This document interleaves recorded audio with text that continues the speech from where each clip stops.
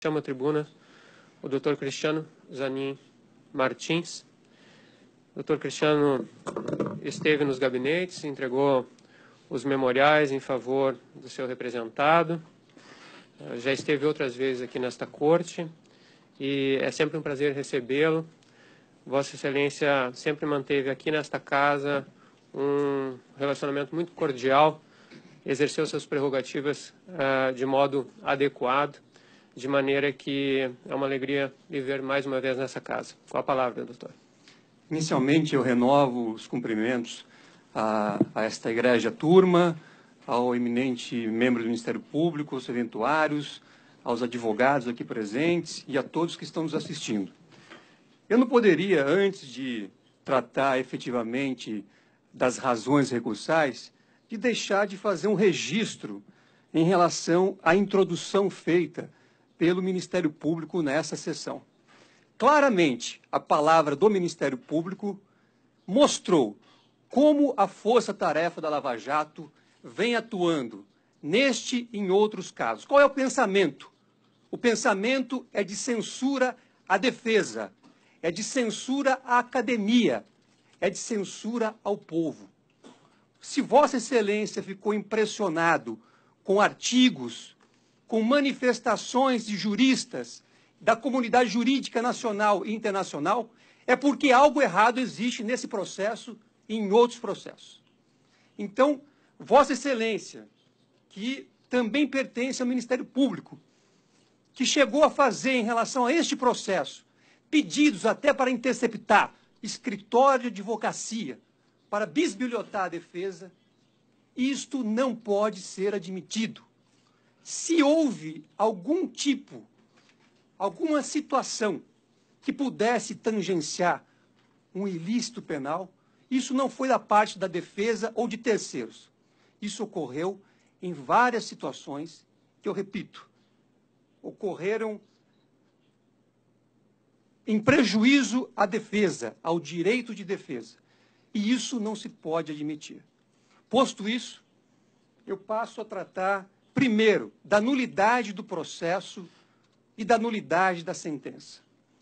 Este processo teve, por parte dos procuradores, uma escolha, a escolha da jurisdição.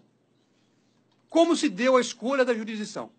Mediante a afirmação na denúncia de que este caso teria relação com três contratos específicos da Petrobras. É isso que consta na denúncia.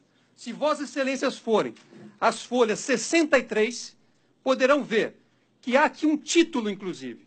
Os contratos que originaram vantagens indevidas. Há um título. Peço, venha a Vossa Excelência que vejam a página 63. E esta afirmação foi aceita inicialmente pelo juiz para aceitar a sua competência, a sua fictícia competência. Por quê? Porque ao final, na última decisão proferida no processo, o próprio juiz teve que reconhecer, depois de tudo aquilo que foi demonstrado pela defesa. Este juízo jamais afirmou, na sentença ou em lugar algum, que os valores obtidos pela construtora OAS nos contratos com a Petrobras foram utilizados para pagamento da vantagem indevida para o ex-presidente. Esta é uma afirmação textual do juiz de primeiro grau. Então, portanto, aquela competência que foi aceita, que foi estabelecida, não tinha qualquer base. Buscou-se, partiu-se de uma afirmação sem qualquer respaldo que foi aceita e gerou uma ficção, uma competência que jamais poderia ter existido. Segundo ponto, a suspeição do juiz. Não há dúvida, eu sei de que essa turma já tratou dessa questão. Mas não se pode deixar de analisar todos os graves fatos que foram praticados pelo juiz de primeiro grau ao longo das investigações, ao longo da ação, inclusive atos com claros objetivos de gerar fatos políticos. A divulgação de conversas telefônicas entre o ex-presidente Lula e a então presidente Dilma. O que foi aquilo? Aquilo foi um ato político praticado por um juiz.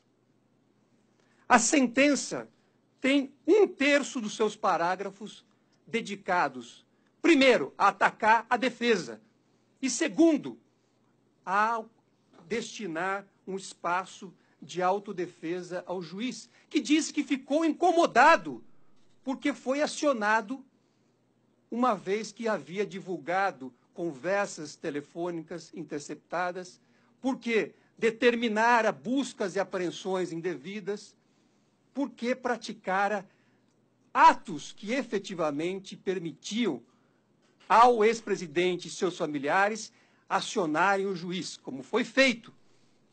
Um exercício legítimo do direito de ação. Mas ele se sentiu incomodado. E o juiz que está incomodado com a parte não tem imparcialidade para julgá-la.